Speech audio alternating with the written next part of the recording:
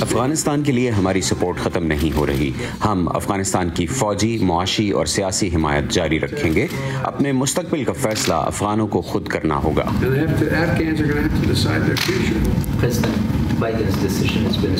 صدر بائیڈن کا فیصلہ تاریخی ہے۔ اس کی وجہ سے ہر کسی نے دوبارہ اپنے منصوبوں کا جائزہ لیا ہے۔ ہم اس فیصلے کا احترام کرتے ہیں اور یہاں اس کی حمایت کے لیے آئے ہیں۔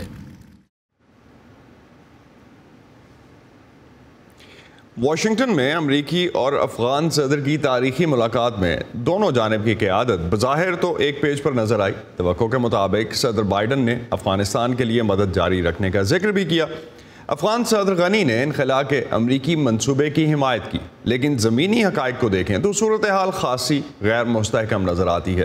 طالبان روز بروز نئے علاقے قبضے میں لے رہے ہیں اور امریکی انٹیلیجنس کی رپورٹس کے مطابق جو سب سے پہلے وال سٹریٹ جرنل نے پبلش کی۔ کابل حکومت امریکی انخلاء کے بعد چھ ماہ کے اندر گر سکتی ہے۔ تو بائیڈن غنی ملاقات سے وابستہ توقعات کس حد تک پوری ہوئیں اور آنے والے کچھ ماہ میں واشنگٹن اور کابل کو عملی طور پر کیا کرنا ہوگا؟ اور اس سب میں پاکستان کا رول کتنا امپورٹنٹ ہوگا؟ ایسے ہی کچھ سوالوں پر ہم آج بات کریں گے۔ ویو 360 کے اسپیشل شو میں، وائس آف امریکہ کے واشنگٹن اسٹوڈیوز سے آپ سب کو خوش آمدید۔ میں وصول اللہ خالد۔ سب سے پہلے آج ہم بات کرتے ہیں واشنگٹن، کابل اور اسلام آباد سے اپنے مہمانوں سے۔ سب سے پہلے ان کا آپ سے تعارف کروا دیں۔ اسلام آباد سے ہمیں جوائن کر رہی ہیں مشاہد حسین صاحب۔ آف کورس کسی تعارف کے محتاج نہیں ہیں اور پاکستان میں سینٹ ڈیفنس کمیٹی کے چیئرمین ہیں۔ کامران بخاری ہمیں واشنگٹن سے جوائن کر رہے ہیں، سیکیورٹی امور کے ماہر ہیں اور کابل سے ہمیں جوائن کر رہے ہیں نجیب اللہ آزاد، جو کہ سیاسی جماعت بابر تحریک کے بانی اور رہنما ہیں، صدر اشرف غنی کے قریبی ساتھی اور ترجمان بھی رہ چکے ہیں۔ بہت شکریہ آپ سب کا شو میں جوائن کرنے کے لیے اور وقت دینے کے لیے۔ سب سے پہلے نجیب، آپ سے آپ کی طرف میں آؤں گا۔ نائب صدر امراللہ صالح نے کہا کہ بہت ہی پروڈکٹیو تھا یہ دورہ۔ آپ کی نظر میں کیا حاصل ہوا افغان قیادت کو؟ امریکہ نے جس قسم کی مدد کا وعدہ کیا ہے، توقعات بھی تو کچھ ایسی ہی تھیں پہلے سے۔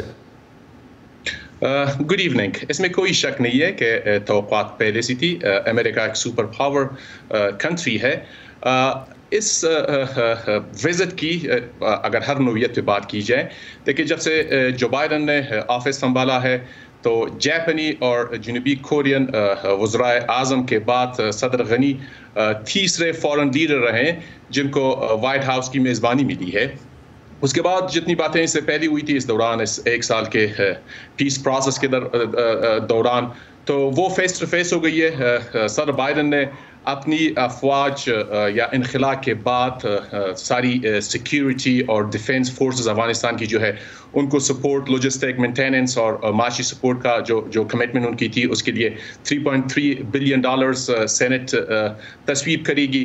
اس کے ساتھ ہی جیسے ہی یہ اسی دوران کابل کے افغانستان کے دو صوبوں میں جو شمال کے افغانستان کی شمال میں ہیں وہاں پہ طالبان پہ فضائی حملے ہوئے امریکن فضائی حملے ہوئے اور اس کے ساتھ ہی جیسے ہی یہ دورہ ختم ہوا تو امریکن گورنمنٹ نے چھ سو پچاس اپنے فوجیوں کو افغانستان میں الیون سپٹمبر کے بعد رہنے کا اعلان بھی کیا۔ اور ساتھ ہی آج آج ایک خبر افغانستان کی نجی میڈیا پہ آئی ہے کہ امریکہ نے افغان ڈیفنس فوج کو چالیس جنگی جہاز جس میں تقریباً تھرٹی سیون جی تھرٹی سیون وہ بلیک بلیک ہاک ہیلی کاپٹرز ہے اور اس کے ساتھ ہی تین ای ٹوینٹی نائن ہے۔ تو یہ بذات خود، یہ سفر جو تھرڈ فورن لیڈر بنے ہیں صدر اشرف غنی اور اس کے ساتھ جہازوں کا ملنا، یہ اعلان کرنا تو دیٹ از اے کمٹمنٹ کہ آپ کو آپ کو لگتا ہے کہ that that can lead to further betterment of the whole country لیکن اگین نجیب ہم اس پہ کیپیسٹی بلڈنگ پہ آئیں گے۔ میں مشاہد صاحب سے ایک چیز پوچھنا چاہوں گا۔ مشاہد صاحب صدر بائیڈن کا یہ کہنا کہ افغان افغان جو ہیں وہ اپنے مستقبل کا فیصلہ خود کریں گے۔ کیا اس کی تشریح ہم اس طرح سے کر سکتے ہیں کہ اب داخلی سیاست میں کچھ بھی ہو چاہے طالبان کسی کے ساتھ مل کر کابل میں حکومت بنا لیں امریکہ اس حکومت کا ساتھ دے گا؟ جی ایک تو سب کو السلام علیکم اور کامران بخاری صاحب کو بھی اور نجیب اللہ صاحب کو بھی کابل میں اور گریٹنگز فرام اسلام آباد۔ مجھے لگتا ہے کہ بیسکلی امریکہ نے جو ایک فیصلہ کیا ہے، کہتے ہیں نا انگریزی میں لاک سٹاک اینڈ بیرل وہ نکل رہے ہیں اور ان کو یہ خیال نہیں کہ کون حکومت میں ہوگا۔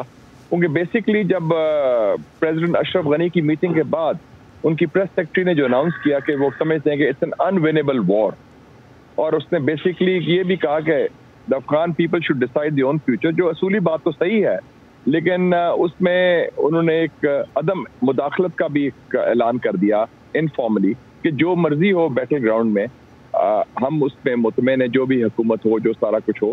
تو ایک فیلنگ ہے کہ ابینڈنمنٹ کی اور کٹ اینڈ رن کی جو فیلنگ اسلام آباد میں بھی ہے کہ وہ ان کو چھوڑ کے اور دوسرے بھاگ رہے ہیں افغانستان سے۔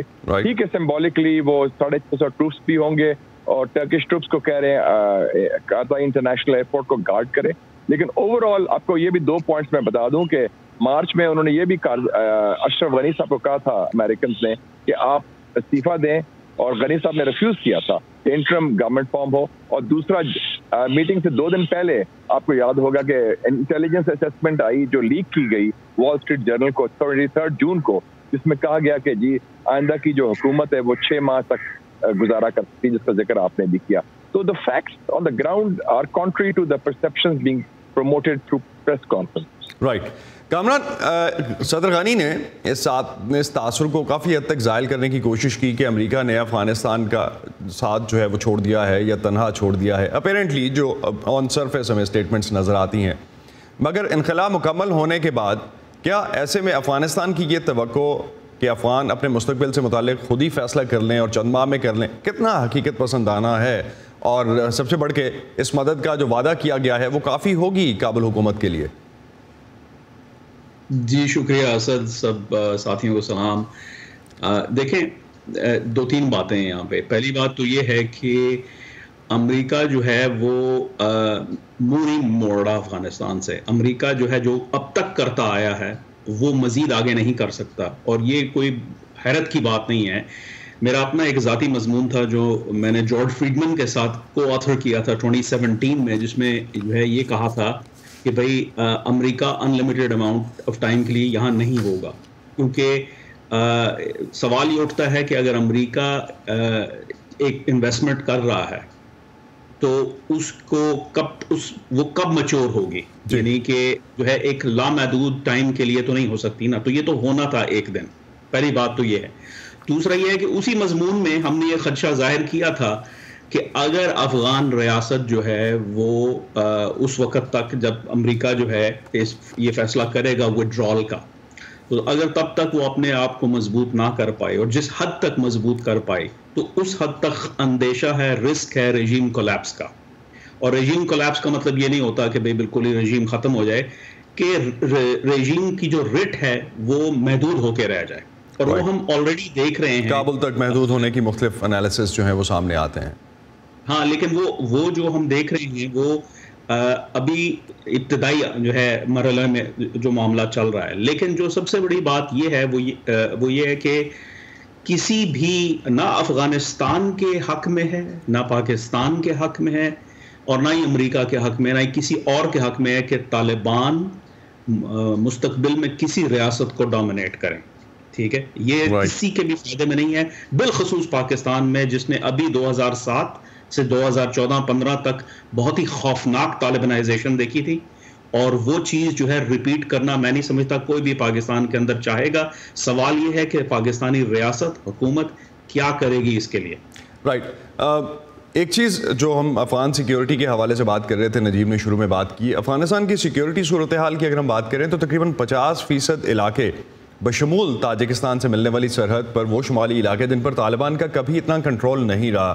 اب اس میں اضافہ ہو رہا ہے۔ امریکی انٹیلیجنس رپورٹ کے مطابق انخلا کے چھ سے نو ماہ میں کابل حکومت گر سکتی ہے اور یہاں واشنگٹن میں بھی ایک نروسنس ہے۔ سینیٹر لنچگرام اور امریکہ کے عسکری حکام کے درمیان سینٹ میں سماعت کے دوران گفتگو کا ایک چھوٹا سا حصہ دیکھتے ہیں اور ہم واپس ڈسکشن میں آتے ہیں۔ جو حالات اس وقت ہیں انہیں دیکھتے ہوئے آپ کے خیال میں بین الاقوامی دہشت گرد تنظیموں جیسے القاعدہ اور داعش کی افغانستان کے اندر دوبارہ فعال ہونے کی اور امریکہ اور اس کے اتحادیوں کے لیے خطرہ بننے کی صلاحیت کیسی ہے؟ Uh, uh, انہیں یہ صلاحیت پیدا کرنے میں ممکنہ طور پر دو سال لگیں گے۔ اگر کابل حکومت گر گئی یا افغان فوج بگھر گئی تو اس کا خطرہ اور بھی بڑھ جائے گا۔ لیکن فی الحال ان کی صلاحیت درمیانی ہے اور انہیں تقریباً دو سال لگیں گے۔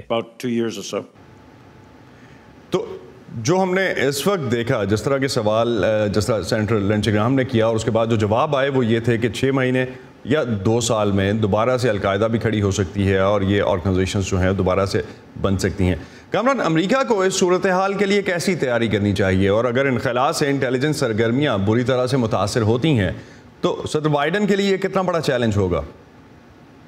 یہ بہت بڑا چیلنج ہوگا کیونکہ صدر بائیڈن جو ہیں وائٹ ہاؤس میں ہیں اور اگر ادھر سے خبر آتی ہے کہ بھائی کوئی جو ہے انفارچونیٹ قسم کی ڈیولپمنٹ ہوئی ہے تو ظاہر ہے اس کا سارا نزلہ اس انتظامیہ پہ گرے گا۔ ماضی میں کس نے کیا کیا وہ لوگ بھول جائیں گے، کیونکہ فی الوقت ان کی انتظامیہ ہے اور ان سے امید لگا کے رکھی ہوئی ہے۔ اس وقت کو یہ نہیں کہے گا کہ بھائی ٹرمپ نے جلدی کر دی یا اوباما نے یہ کیا یا بش نے یہ کیا۔ اس وقت یہی کہا جائے گا کہ بھائی بائیڈن انتظامیہ کو کیا کرنا چاہیے اور اس پہ دباؤ ہوگا۔ تو اب اس کے لیے وہ دو تین چیزیں کر رہی ہیں۔ پہلی بات تو یہ ہے کہ بیسنگ رائٹس کا ڈسکشن ہو رہا ہے پاکستان کے ساتھ۔ کہ وہاں پر بیسنگ رائٹ ہو ظاہر ہے اس کو ایک سیاسی جو ہے روپ دے دیا گیا ہے اسلام آباد میں اور پاکستان کے اندر۔ تو جو سیریس گفتگو ہے ہوپ فلی وہ جو ہے پس پردہ چل رہی ہے۔ اور یہ جو ہمیں منظر عام پہ جو گفتگو نظر آتی ہے وزیر اعظم عمران خان کی جانب سے وہ جو ہے وہ صرف پولیٹیکل پاسچرنگ ہے۔ تو ایک تو یہ بات۔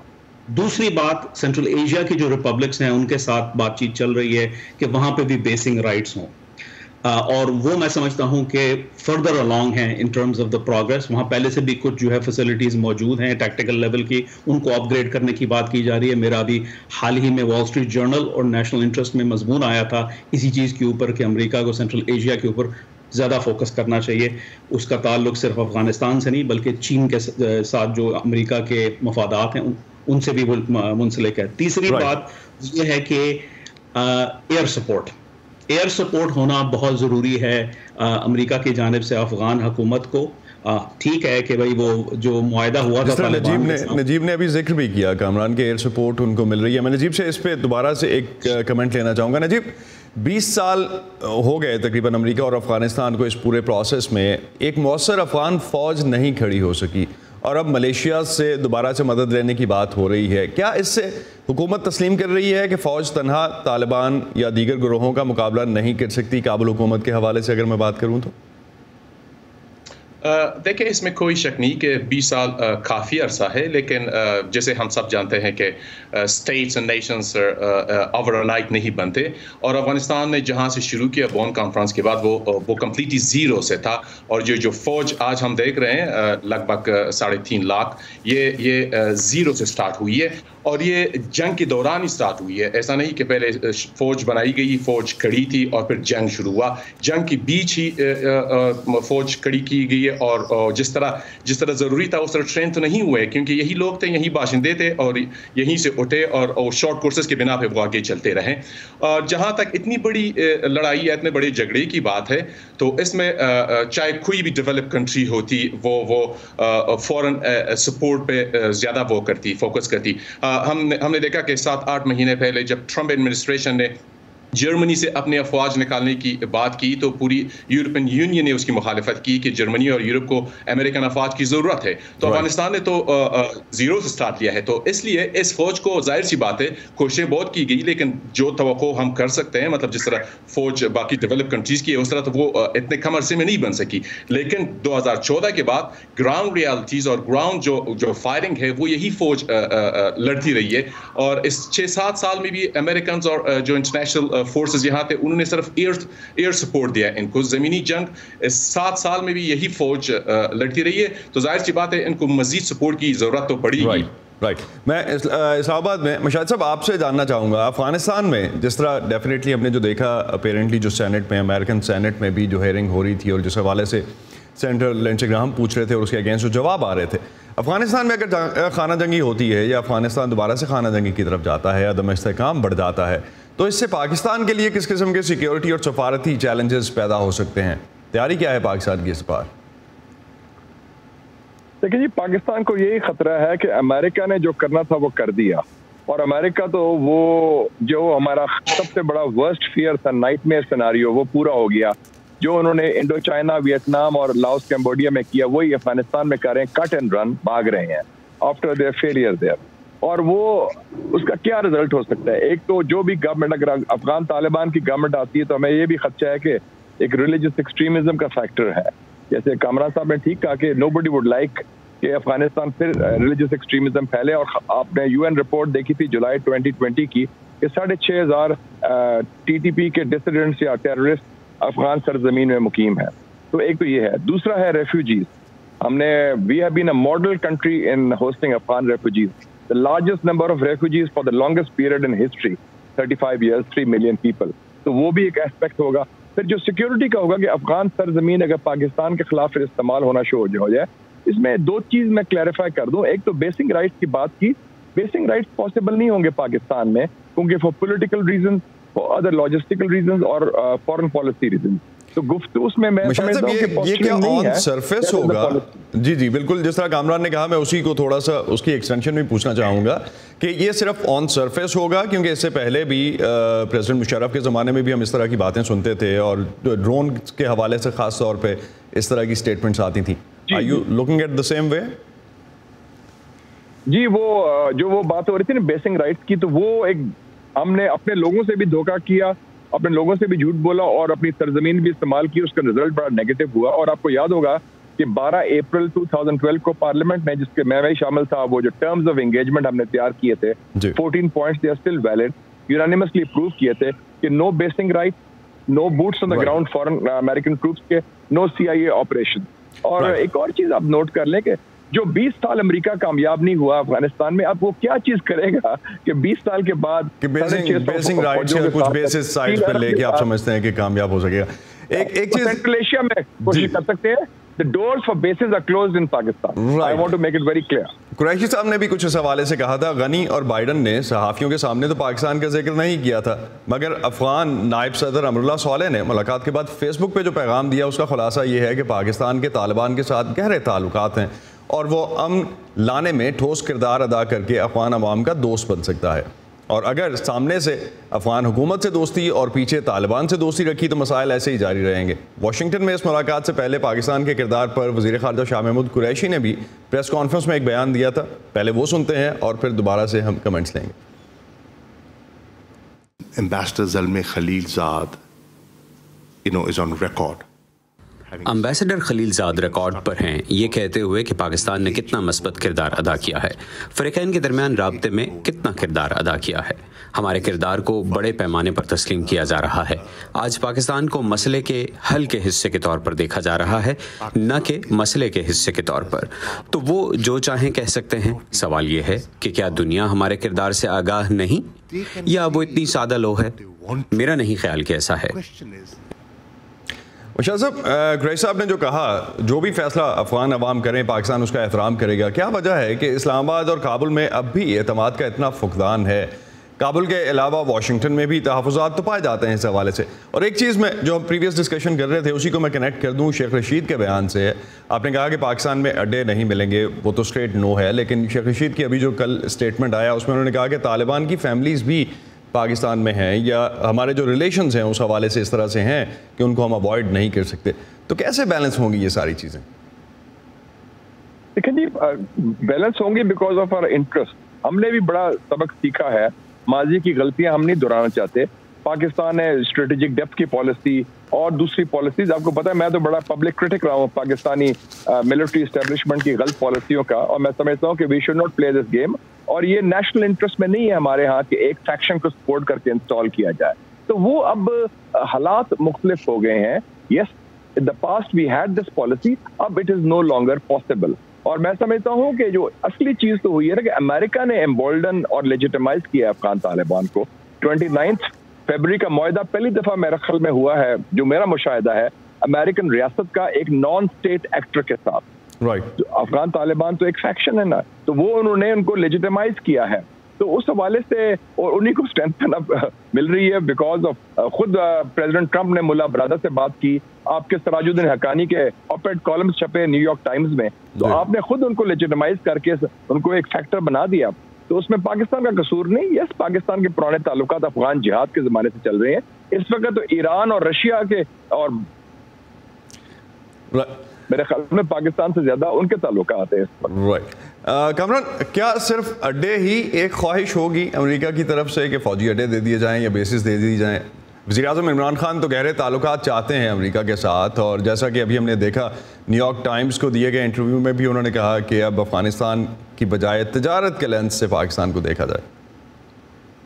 جی دیکھیں، اس میں ہر چیز کی ایک قیمت ہوتی ہے۔ چھوٹی ریاست بھی قیمت جو ہے مانتی ہے، سپر پاور بھی قیمت مانتا ہے۔ جب نیگوسیشن ہوتا ہے اگر امریکہ کو پہلی بات تو یہ کہ بیس سے مراد کیا ہے؟ بیس سے مراد یہ نہیں ہے کہ بوٹس آن دا گراؤنڈ ہوں گے۔ بیس سے مراد یہ فیسلٹیز کا استعمال، ٹھیک ہے؟ اور وہ جو ہے انفریکوینٹ ہوتا ہے۔ اور جہاں تک انٹیلیجنس آپریشنز ہوتے ہیں، کوئی بھی ملک جو ہے وہ بالکل زیرو ہو کے نہیں ہو جاتا کہ بھائی وہ جو آپ کے جو پارٹنرز ہیں، جو انٹیلیجنس پارٹنرز ہیں دیگر اور ملکوں کے اندر مین آئی ایس آئی اور سی آئی اے کے گہرے روابط ہیں۔ اس میں کوئی ڈھکی چھپی بات نہیں ہے۔ ابھی جو ہے وہ ولیم برنز آئے تھے جنرل فیض سے مل کے گئے ہیں۔ تو یہ بات ہو رہی ہے کہ آپ جو ہے کوآپریشن کریں۔ بیسنگ جو ہے اس کو ہم نے بہت بڑا ہوا بنا دیا پاکستان کے اندر کہ پتہ نہیں کیا ہو جائے گا، کیا مسئلے ہو جائیں گے، کیا ڈرون چلنے شروع ہو جائیں گے۔ یہ اس کی اس کو سطحی لیول پہ ڈسکس کرنے کے بجائے حکومت کو عوام کو کانفیڈنس میں لینے کی ضرورت ہے اور بتانے کی ضرورت ہے کہ بھائی یہ حالات ہیں ہمیں ہمیں خطرہ ہے پاکستان کی ریاست فی الوقت اس وقت اتنی مضبوط نہیں ہے جی۔ کہ وہ اکیلے جو ہے اس طوفان کا مقابلہ کر سکے شاہ صاحب نے جو ہے ذکر کیا جو ہے نا ریفیوجیز کا اور ٹی ٹی پی کا اور حملوں کا اکیلے تو پاکستان تو یہ نہیں کر سکے گا نا؟ تو اس کو امریکہ کے ساتھ معاونت کی ضرورت ہوگی۔ تو میں سمجھتا ہوں اس پہ ذرا کھل کے بات کرنے کی ضرورت ہے اور اگر آپ اجازت دیں تو میں ایک اور بات بھی کرنا چاہوں گا کہ دیکھیں جی۔ غلطیاں ہر ہر طرف سے ہوئی ہیں۔ امریکہ سے جو سب سے بڑی غلطی ہوئی وہ یہ ہے کہ جب افغانستان میں آپریشن شروع کیا، اس کے بعد اس کو چھوڑ کر، اس کو سیکنڈری بنا کر عراق میں جو ہے نا انویژن کر دیا۔ وہ بہت بڑا اسٹریٹجک بلنڈر تھا، جس کی جو ہے امریکہ اور پورا خطہ جو ہے وہ قیمت ادا کر رہا ہے۔ جو ہے ایران کے جو ہے نا ایکسپینشنسٹ قسم کی جو ہے نا وہ صورت حال کو دیکھتے ہوئے کہ جہاں وہ ڈسپرپورشنٹ انفلوئنس جو ہے وہ پروجیکٹ کر رہا ہے خطے کے اندر مشرق وسطی کے اندر۔ تو اگر وہ امریکہ سے غلطی ضرور ہوئی ہے لیکن پاکستان سے بھی جو ہے غلطیاں ہوئی ہیں۔ پاکستان جو ہے وہ نہ نہ طالبان کو چھوڑ سکا نہ امریکہ کا ہو سکا اور اینڈ پہ کچھ بھی نہیں ہو پایا۔ تو اگر آج امریکہ کو مجبور ہوا ہے جی۔ مجبور ہوا ہے اگر امریکہ جو ہے طالبان کے ساتھ سمجھوتا کرنے پہ تو وہ ایک اس غلطی کی وجہ سے اور دوسرا یہ کہ وہ جس قسم کا تعاون پاکستان سے چاہتا تھا اس کو ملا اس طرح کا نہیں ملا۔ نجیب سے میں یہ جاننا چاہوں گا نجیب لاسٹ پہ مذاکرات میں ڈیڈ لاک دور کرنا کیا افغانوں کا مل بیٹھ کے کرنے کا کام نہیں ہے؟ اور سب سے بڑھ کے کسی اور کی ضرورت کیوں ہے؟ خصوصاً جب یہ بھی کہا جاتا ہے کہ کسی تیسرے فریق کی مداخلت بھی تسلیم نہیں کی جائے گی۔ A quick response and view to close a show دیکھیں ایک چیز تو بہت واضح ہے کہ کنسپیرسی تھیوریز ہیں اور اسی بنا پہ پالیسیز بنی گئی ہیں۔ افغانستان کا کیس صرف افغان گورنمنٹ اور طالبان کے درمیان کا کیس نہیں ہے۔ یہاں ریجنل پاورز اور اور امریکہ کے درمیان یا کمپٹیشن سے پولیٹیکل معاشی طور پر اور اور فوجی طور پر۔ یہاں پہ ریجنل کنیکٹیوٹی کے مسائل ہے یہاں پہ Pakistan Russia China regional powers ہے امریکہ کے اپنے مفادات ہے تو یہ جس کے، جسے ہم انٹرا افغان ڈائلاگس کہہ سکتے ہیں۔ انٹر افغان ڈائلاگس کے تھرو یہ مسائل حل نہیں ہوں گے۔ دیکھیں جیسے مشاہد صاحب نے کہا ہم ان کو فالو کرتے آئے ہیں وہ کریٹک رہے ہیں اسٹیبلشمنٹ کے اور بہت ساری پاکستانی جو پالیسیز تھی اس کے خلاف رہے ہیں۔ لیکن ہم ماضی کے پاکستانی لیڈرز کو بھی ایک طرف رکھ کے بات کرتے ہیں اور افغان نائب صدر کی بیان کو بھی ایک طرف رکھ کے بات کرتے ہیں۔ شیخ رشید صاحب وہ ایک اسٹیٹ کو ریپرزینٹ کرتے ہیں وہ جی۔ وہ فی الحال وزیر داخلہ ہیں۔ وہ کہہ رہے ہیں کہ یہاں طالبان کی فیملیز ہیں ان کی ڈیڈ باڈیز یہاں آتی ہیں ان کے جو انجرڈ ہے ان کی یہاں ٹریٹمنٹ ان ہاسپٹلز میں ہوتی ہے۔ تو یہ وہ چیزیں ہیں کہ تیسرے اس میں شامل ہیں مطلب افغانستان کے کیس میں پاکستان سر فہرست پہ اور باقی کنٹریز بھی ریجنل پاورز بھی وہ بھی دخیل ہے اس میں تو اسی بنا پہ ان کی ضرورت پڑے گی ڈائلاگز میں۔ بہت شکریہ بہت شکریہ تینوں صاحبان کا مشاہد حسین ہمیں اسلام آباد سے جوائن کر رہے تھے نجیب اللہ آزاد ہمارے ساتھ تھے۔ کابل سے اور کامران تھے ہمارے ساتھ کامران بخاری واشنگٹن سے۔ اسی پر ختم کرتے ہیں آج کا ویو 360 سٹے سیف اور پروگرام پر فیڈ بیک کے لیے آپ آ سکتے ہیں Facebook dot com slash V O A Urdu کے پیج پر۔ اب تک کے لیے اتنا ہی۔ اسود اللہ خالد کو اجازت دیجیے۔ خدا حافظ۔